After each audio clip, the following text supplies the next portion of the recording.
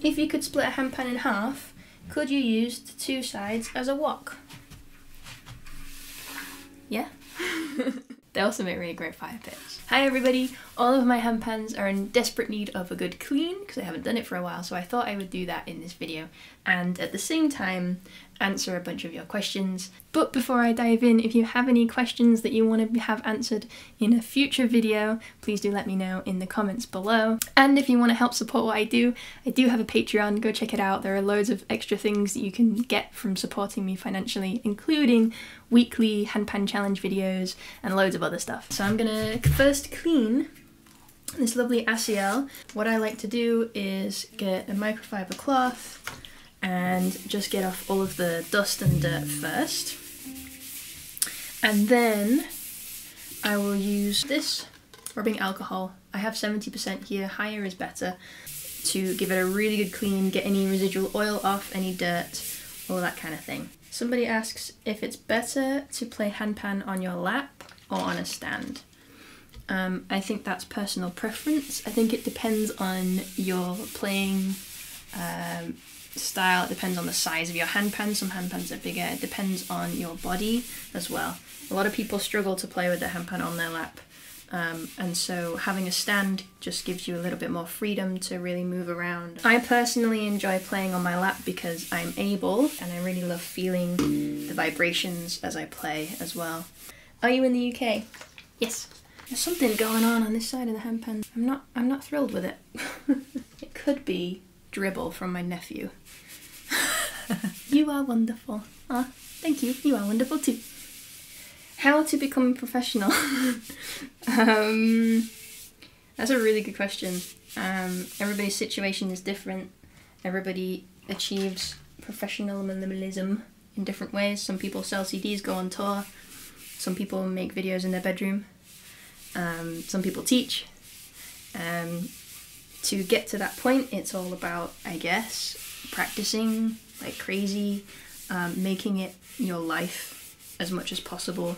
Um, play every single day, take it seriously, compose, create, be, find whatever is your individual thing that you have to share with the world. What makes you different from all of the other handpan players? When I first started, I wasn't necessarily a, a good handpan player for a long time but I was different because I was singing pop songs, I was using loop pedals, all that kind of thing, and that really helped me get the foot in the door. So find your creative thing, find your voice, whatever it is that makes you you, and um, run with it, go out with it, and dedicate time to it, and hang out. You know, reach out to to people that are as in love with it as you, and um, yeah, get get in, into the community and put yourself out there, and then the opportunities will come.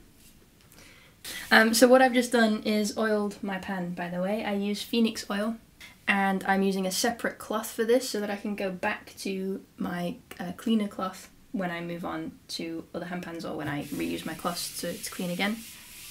And I don't oil regu regularly. Never, never oil without cleaning first. Um, otherwise you'll just end up with loads of oil and it gets really sticky. Um, I made that mistake when I first started. And I only, now, I used to I used to oil all my pans, but now I only oil this one and this one. Um, but my stainless pans, I don't actually bother oiling now. Um, just because I don't really like the feel of it, but it means that I just make sure to clean it super, super regularly um, because it definitely does need that. Where are you from? I'm from England, um, from Lincolnshire, uh, living here at the minute. Um, yep. What type of mic do you use for recording the handpan? Uh, the microphone that I use the most I'm recording like for videos and stuff is an Audio Technica AT2020. It's a condenser microphone. I plug that into an, an audio interface via an XLR cable. The audio interface is a Scarlett, as a Focusrite Scarlett 8i8 I think, and then that goes into my computer into the software that I use to mix the sound. If I want it to be higher quality, when I'm recording albums or songs or what have you, I have a pair of microphones. I have two pencil microphones, and they are Oktava's uh, MK something or other. I've forgotten the name of those. The AT2020 is a really, really good entry level microphone. I've had it since I was like 16 and I've recorded full albums with it, like every single instrument. Um, but they are discontinued now, but they, they do make alternative versions of those, so definitely check them out. They also do USB versions, so you can completely bypass the need for an interface, which makes it way less complicated and um, way cheaper. How long does it take to learn to play the handpan? Everybody is different, and that is perfect and okay, and it doesn't matter how long it takes, as long as you always enjoy the process. And if it ever doesn't feel fun, then do something different. I think it's really, really, really important that it's always, always fun.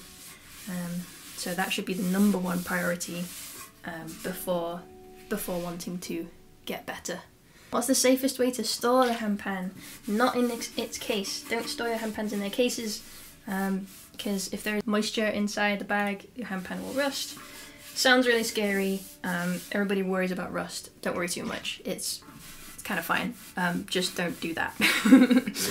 Safest is just out of the way um, and somewhere open and accessible, and that way you're more likely to play it too. People are so kind in their comments. My handpan literally arrived today, and I'm already addicted. I've been trying a lot of different positions, with it on the floor, on the stand, on the couch, leaning back. My question is, do you ever get back pain from playing for an extended period of time? Ooh. Well, we talked a little bit about stands. Um, sometimes that is necessary if you're struggling with it on your lap. Check in with your posture all the time. As you play, notice if and where you have any tension. Even if the tension is at your feet, it's going to be affecting your hands and your back and your neck and everything else. If your tension is in your jaw, it still carries. So, yeah, make sure that you're super relaxed when you're playing. Um, I recommend stretching and um, warming up before you play as well. If you feel pain, take a break. Don't power through it. Most of these are just people saying thank you for the videos and saying nice things about me. so thank you everybody, that's really kind. Um, what's your top three best bang for buck exercises slash patterns in your handpan practices so far? Ooh. This one.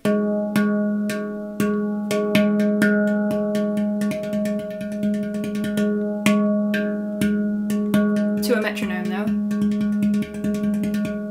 And then basically the same thing again but with the thumb and middle finger.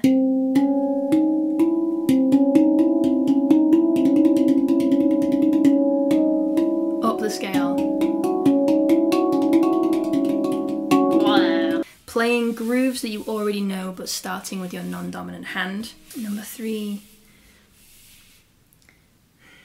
I don't know. I'll make a video on my top three. That's what I'm gonna do. I'm gonna save that for a full video. All right, so this pan is finished. I wiped it clean and then uh, cleaned it with alcohol and I do not intend to, uh, to oil it. Although, one thing to note is I also have these other products that were provided to me by Meridian Hand Pans. I'm about to clean that one now. Um, this is actual stainless steel cleaner. Um, from Method, which I think is, I'm not sure if that's available outside of UK or Europe, I'm not sure. Um, and I also have, last time I bought a handpan from them a few years ago, um, they gave me a Dunlop, like guitar cleaning um, spray. I think it was a spray. So I guess I'm gonna try using this. My neck gets sore when I play handpan. I think my setup is pretty optimal, but I'd like to hear more about good posture and relaxing your back. Yeah, like I said before, it's all about the posture. I find a lot of my tension is always in my shoulders and my neck, so I like to just check in, hunch my shoulders, roll them back, roll them down. I also have a tendency to lean forward. I've got quite a long neck, so I, I have a tendency without realizing to crowd the drum a little bit. So I always kind of just like to check in, make sure that I'm not hunching like this, that my chest is open, and that I'm relaxed. Um, yeah, and then again, posture everywhere else. Is there tension somewhere else in your body, in your feet or what have you? And that it all affects everything. Here he is! There's Mr. Rufus. How do you go from sounding like a beginner to more advanced? And what are the details that set the two apart? For me, I think um, it is the difference between playing and playing well, and expressing and playing with feeling and dynamic and control. Um, there is a difference between playing a groove and performing a groove. There's a difference between this, which is,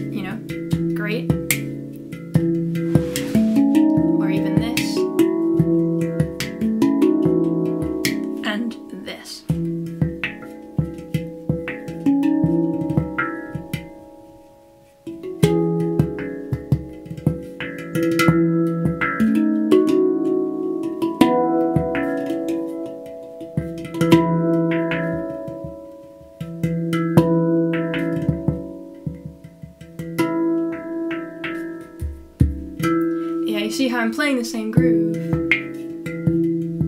but I'm adding so much more to it. And but I'm not doing it in a way that is too much and or the same repeating things over and over and over. I'm always finding new new things to make it make it interesting. All right, I think we are clean. I think I've cleaned all of the instruments. That was good timing. I finished I finished cleaning and I have a meeting in 5 minutes. So I'm to wrap up filming.